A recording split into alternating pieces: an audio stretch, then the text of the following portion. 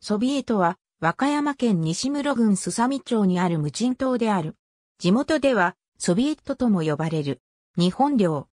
ソビエトは本州最南端である潮の岬の西方、すさみ町ミローツ沖に位置し、陸の黒島、沖の黒島の沖に連なる。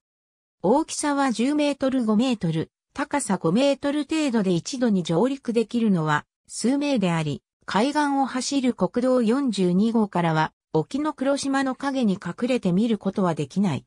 釣り人の間では波が非常に荒いものの超過の良い釣り場として知られている。ソビエトは日本の領海の起点となる島の一つである。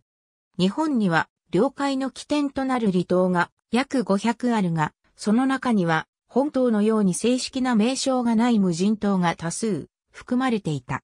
日本政府は2014年6月の離島の保全策を検討する政府の有識者懇談会の提言を受けて、同年8月1日にこのうちの本島を含む158の島の名称を決定し、内閣官房総合海洋政策本部のウェブサイトで公表した。